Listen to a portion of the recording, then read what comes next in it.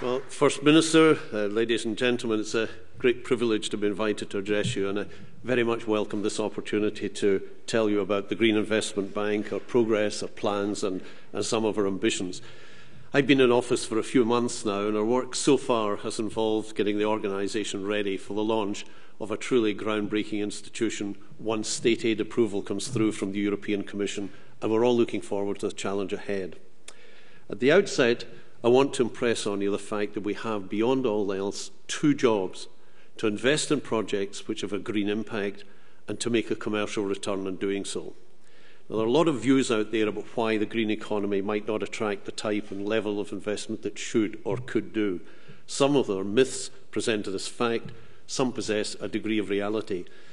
One of my aims, and that of the team here from whom you're going to hear later on, is to dispel the myths and to help to turn the challenges into opportunities, real, viable commercial opportunities. We're fortunate in the UK to have knowledgeable and sophisticated green investors and developers, and we're going to work with them and indeed international partners, including sovereign wealth funds, to find projects to deliver on our two jobs.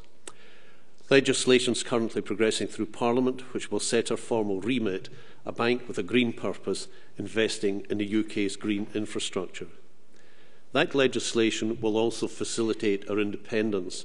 Incidentally, I was with uh, Vince Cable the other day and I stressed the importance of this independence and he put his head in his hands. It was some time later before he cheered up a bit. He, he thought I was talking about Scottish independence. Once again, granted state aid approval from the Commission, we will be able to operate very much at arm's length from ministers, an investment bank making loans and investments in the expectation of earning a return and reinvesting the proceeds back into the green economy. And I'm confident of our ability to meet this challenge. As set by government, the initial five strategic priorities over the next three years will be offshore wind power generation, waste process and recycling, energy from waste generation, non-domestic energy efficiency and support for the Green Deal. Now, I'm fully aware that there will be disappointment among some in the audience that these priorities do not include wave and tidal technologies. These technologies are still some way off being fully commercial and would not satisfy our investment criteria. But experience has shown that technology can develop at real pace, and once these technologies have become more commercial, they may well be priority sectors for the UK Green Investment Bank in the future. But I, I want to make this clear. This cannot and will not be a bank just for large projects. £180 million has already been committed to four fund managers, two specialising in waste and two in non-domestic energy efficiency, with the funds being targeted at smaller projects. The current environment is quite confusing. I'm reminded of Boris Yeltsin when he was president of Russia, And they asked him if he could sum up the state of the Russian economy in one word. And he said, good. And they said, if you had two words, not good. the UK, let's tackle the not so good first. The UK faces huge challenges to finance its environmental objectives. To meet the targets of 23-27 carbon budget, it needs to increase its emissions reductions from the current 1% per annum to 3% and a further increase to 4.5% beyond 2025 will also be required. Looking at electricity generation, the contribution of renewables needs to rise from 11% today to 30% by 2020. And from my perspective as the chair of SSE, I can assure you that is a significant challenge. Offshore wind alone is projected to require investment of £50 billion up to 2021, and that's barely eight years away. But with these challenges come tremendous opportunities, with the global low carbon and environmental goods and services sector projected to reach £4 trillion in 2015 16. There's huge potential for innovative low carbon businesses to lead the way and capitalise on the global opportunities on offer. However, it's clear that lack of sufficient finance is acting as a barrier to the build out of green infrastructure, as you've just heard. I have a very clear vision for the UK Green Investment Bank. I firmly believe the bank will play a key role in supporting the development of green infrastructure. And while the bank will have an unreservedly green focus, there will be other ways in which we can benefit the economy. For example, it will create new opportunities for small and medium-sized enterprises in areas in the provision of, for example, research, specialist services and supply chain – We should be in no doubt the UK Green Investment Bank has the potential to be a game-changing institution, accelerating UK transition to the green economy, and I am fully committed to its success. I see the UK Green Investment Bank as an institution not just for the next three years, but for the next generation and beyond as we move towards these challenging goals. I'm confident we'll achieve these goals through our actions and efforts. We're going to work to help to identify green projects which, which can deliver real commercial returns, stimulate creativity in how we structure and approach investment in the green economy, encourage cooperation and collaboration between our prospective partners and other investors, and very crucially, build confidence, which is lacking right now in the market for green investment. Now, clearly, we can't do this alone. I'm immensely proud of the team we're building here, all of them bringing expertise, experience and passion to deliver the mission. In incident, we've attracted some very impressive people to this team. I've spent a lifetime in finance, investment and so on, and this is among some of the best people I've worked with.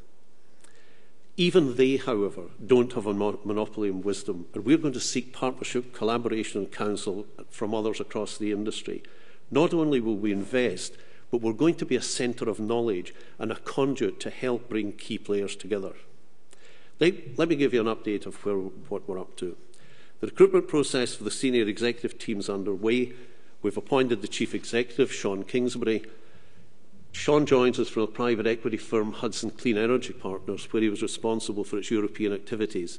He brings a strong track record of leadership in private equity and low carbon finance, and he has a big background in energy generally.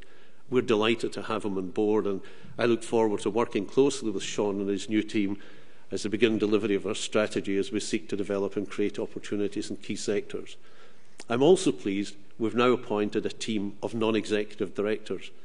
And incidentally, the calibre of these is also very high. One example is the chief executive uh, of Standard Life, whose background is also having been a finance director in Scottish Power. That's the sort of individual we've brought on board. And each of these individuals is bringing a wealth of experience and a depth of knowledge from which we will benefit enormously. The headquarters of the bank are here in Edinburgh. In Edinburgh, we're going to have all our support staff HR, PR, IT, finance, risk, asset management. Most of our transacting teams are going to be in London, but we will have some transacting capability here in Edinburgh and in Scotland. And how could it be otherwise when Scotland has 25% of European wind potential and 25% of tide potential and 10% of wave potential around these shores? This is going to enable us to play to the strengths of both Edinburgh and London, supporting our ambitions for the bank to be a world leader. We've already selected premises in Edinburgh and London We're taking forward myriad of decisions relating to setup, including IT, staffing and other operational matters. Finally, we will require the approval of the European Commission before we begin operating as an independent financial institution. The Department for Business Innovation and Skills is leading negotiations with the Commission and I am assured that we are on track for an imminent decision. I'm told that that could come before the end of this month. Uh, given were gathered in Scotland, I thought it would be important to touch briefly on some of the important activity we've been engaged in right here. The Scottish Government's identified a large pipeline of potential low carbon projects. Many of these fall within the UK Green Investment Bank's scope, and some will not. The UK Green Investment Bank will be only one of a number of sources of funding for these projects. The First Minister announced yesterday the creation of the Renewables Infrastructure Fund, and that will provide another additional source of funding and I'm delighted we've agreed with the Scottish Government to resource jointly a review of this pipeline to develop recommendations on how these projects might be taken forward, together with the potential sources of funding available to them. Now, there's understandably, understandably a great deal of interest in the level of funding for the bank. The bank's been funded with £3 billion up to 2015. We should not underestimate the challenge of a new institution deploying this level of capital sensibly, especially if the European Commission places tight controls on what the bank can and cannot do. From initial market testing, we feel confident about committing £3 billion by 2015, but it would be unrealistic to think the bank could commit tens of billions from the outset. Crowding in private sector capital is central to our remit, We'll focus not only investing $3 billion in projects which demonstrate ability to make a positive commercial return and a green impact, but also in mobilising additional capital into a wide range of green infrastructure. This will not be an institution which gives out grants or soft loans. We will build a credible commercial entity working towards a double bottom line of achieving significant green impact and appropriate risk-adjusted returns. We will never crowd out private capital.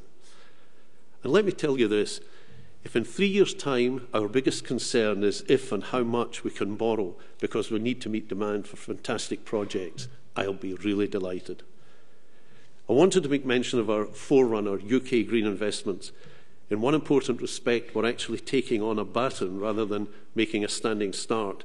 And you, the know-how developed from the Commonwealth Games would come in handy at some point.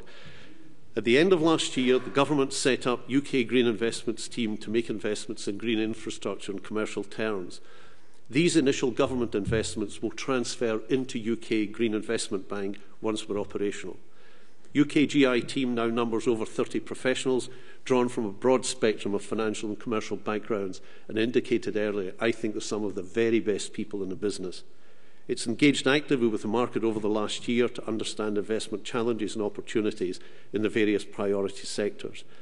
They've developed an exciting pipeline of investment opportunities, a number of which are near to financial close.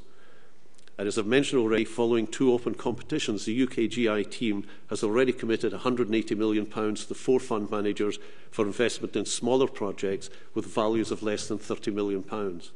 And thanks to the work of UKGI team, the bank will be able to hit the ground running once it begins operation. Well, oh, very finally, I have no doubt the creation of the Green Investment Bank will help us to change both the way we invest in the green economy and the, the type of investment that we do. In achieving our goals, I believe the impact will be far-reaching for the economy, for the environment, for jobs and for wider society. The UK Green Investment Bank is the first of its kind in the world and I'm confident that following state aid approval will be in great shape, ready to launch into full operation later this year. We have a big job in front of us, but we relish the challenge. We have the capital, and we will invest it wisely and effectively. Thank you.